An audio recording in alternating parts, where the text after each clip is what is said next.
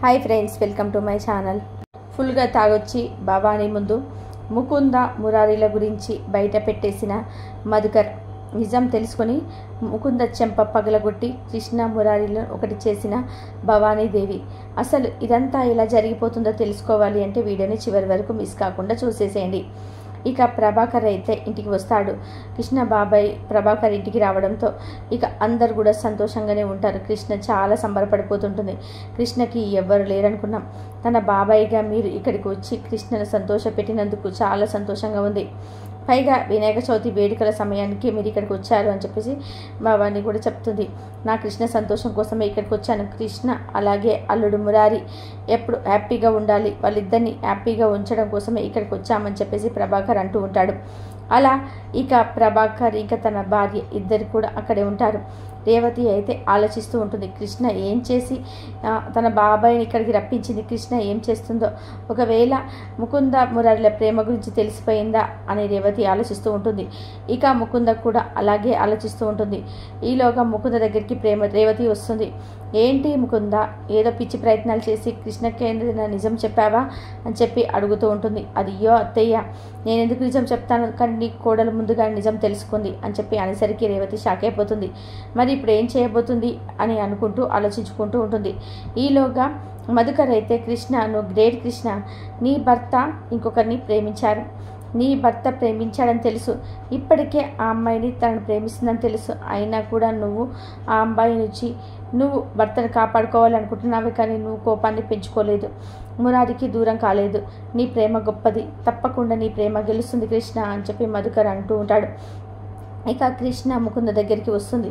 ఏంటి? మా బాబాయ్ ఎందుకు వచ్చాడని ఆలోచిస్తున్నావా? మా బాబాయ్ వచ్చింది నీ అంత చూడడానికే. ఎలాగో నువ్వు నా ఏసీపీ సార్ని వదిలిపెట్టేలావు. కాబట్టి ఎట్టి పరిస్థితుల్లోనూ ఇంకా నువ్వు నా ఏసీపీ సార్ జోలికి రావడానికి లేదు అంటూ ముకుందతో ఛాలెంజ్ చేస్తూ నువ్వు ఎన్నిసార్లు ఛాలెంజ్ చేసినా ఏం చేసినా మురారి నావాడు మురారికి నీ మీద ఎలాంటి ప్రేమ లేదు అని చెప్పేసి ముకుంద మరింతగా కృష్ణను రెచ్చగొడుతూ ఉంటుంది. ఇక ముకుంద కృష్ణల మధ్య ఈ మధ్యకాలంలో ఎక్కువగా మాట్లాడుకుంటున్నారు. తోడి కోడలు చాలా బాగా కలిసిపోతున్నారు. ఈ రోజులో ఎవరు ఉంటున్నారని భవానీ వాళ్ళైతే చూసి మురిసిపోతూ ఉంటారు. వాళ్ళ మధ్యలో ఏం జరుగుతుందనేది భవానీకి అర్థం కాక అందరు హ్యాపీగా ఉంటారని అనుకుంటుంది. ముకుంద మురారి దగ్గరికి వస్తుంది. నీ భార్య కృష్ణ రెచ్చిపోతుంది. చాలా ఎక్కువగా చేస్తుంది. నీ భార్య కృష్ణ నిన్ను సొంతం చేసుకోవడానికి పిచ్చి పిచ్చి ప్రయత్నాలని చేస్తుంది. కానీ నీ భార్య కృష్ణకు మరి చెప్పు నువ్వు నా వాడివే అని మురారి ఇంకా అంటూ ఉంటుంది. ముకుంద పిచ్చి పిచ్చి వేషాలు వేయకుండా నోరు మూసుకొని ఉండు. ఎప్పటికీ కృష్ణకు నువ్వు పోటీ కాలేవు అంటూ మురారి ముకుందకు భార్యకు చెప్పి వెళ్ళిపోతాడు. ఇక్కడ మధుకర్ అయితే ఫుల్ అని డ్రింక్ చేస్తుంటాడు. అలా చేయడంతో ఇంకా అలేఖ్య ఏంటి మధు? ఎందుకు ఇలా ఇలా ఫుల్గా డ్రింక్ చేసావు ఇప్పుడు నువ్వేం మాట్లాడుతున్నావు? అర్థమవుతుందా నీకు? లేదు ఈరోజు అంతా తేలిపోవలసిందే. కృష్ణ కష్టం తీరిపోవలసిందే. లేకపోతే నా కృష్ణదే చా ఛాలెంజ్ చేస్తుందా? కృష్ణని ఇంట్లో నుంచి పంపించేస్తాను అని అంటుంది. అసలు ఆ ముకుందకి ఎంత ధైర్యమో. మురారి మూడు ముళ్ళు వేసి ఇంకా కృష్ణని ఇక్కడ తీసుకొచ్చాడు. అలాంటి కృష్ణని ఎలా పంపిస్తుంది? ఎట్టి పరిస్థితుల్లో నేను ఊరుకోను అంటూ బయటికి వెళ్ళబోతుంటాడు. అలేఖ్య ఆపే ప్రయత్నం చేస్తూ ఉంటుంది.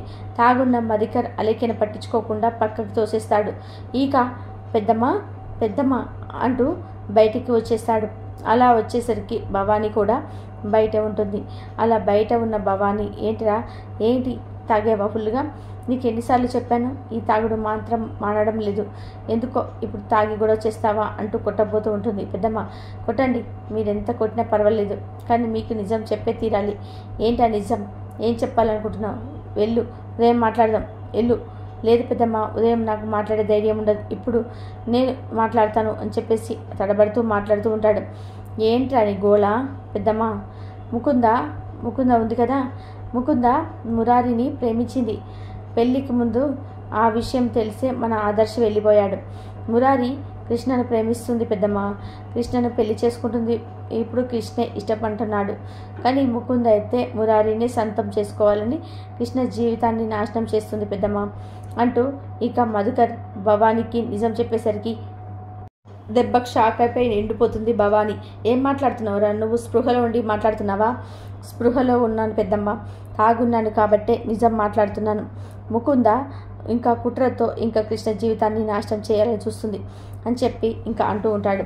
అసలు ఇదంతా నిజమేనా? అసలు వీడు తాగి ఉన్నాడు వాగుతున్నాడా అని తెలుసుకోవాలని చెప్పి అంటూ ఇక మురారిని పిలిపిస్తుంది.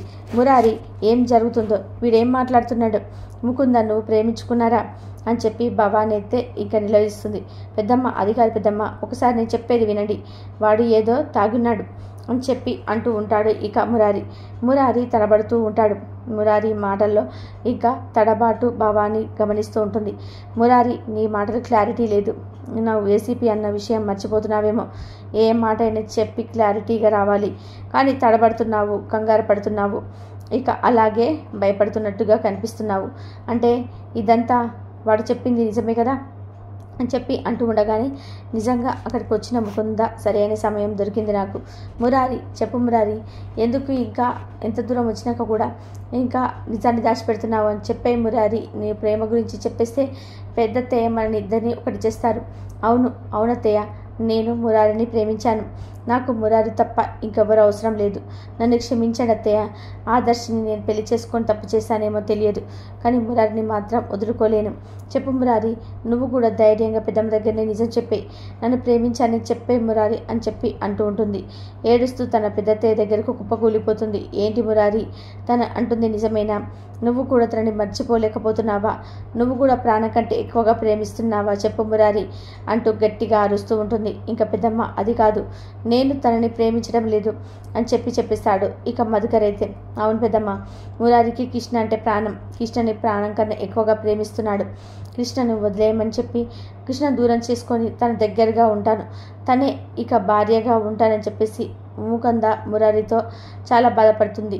ఇంకా ఎవరికి చెప్పుకోలేక అటు కృష్ణ దగ్గరగా నిజాన్ని బయట పెట్టలేక వాడు నరకాన్ని చూస్తున్నాడు అని చెప్పేసి మధుకర్ అంటూ ఉంటాడు.